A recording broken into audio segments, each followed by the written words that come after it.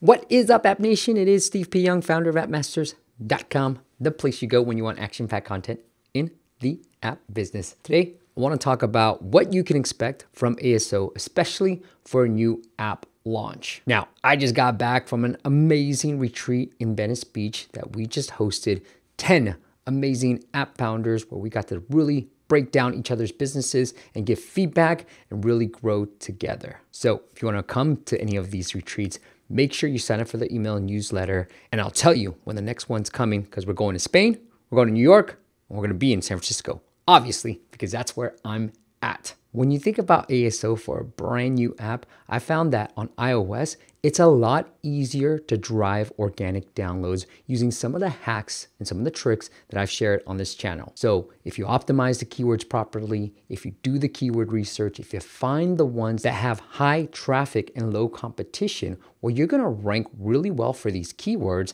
and you're gonna drive a lot of app downloads. Now, on the flip side for Google Play, what I found is it's a lot more difficult to drive downloads purely from organic searches. For Google, what you typically have to do is run some paid ads on it so that you can start driving the download volume, getting the reviews, and then the keyword optimization will start kicking in.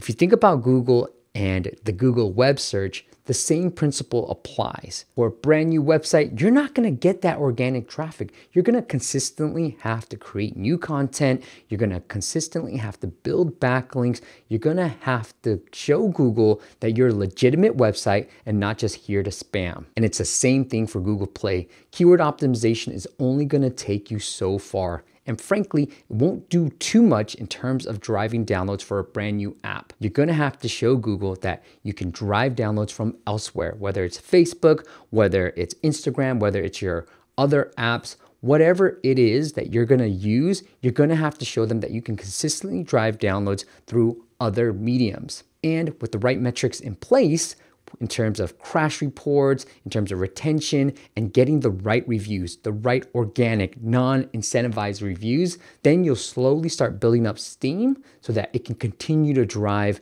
more and more traffic. Now, what I've heard from others in the space is that Google can be a tremendous source for organic downloads. It just takes time. Whereas iOS, you don't need time. Keyword optimization will get you to a good starting point. From a downloads perspective, here's what I found on iOS. I can get new apps to get anywhere from 50 to 100 to 200 downloads from organic searches. Now, Google Play, it's a lot harder. Sometimes I'm not able to get any downloads from organic searches, and we need to utilize paid acquisition channels to really drive those downloads.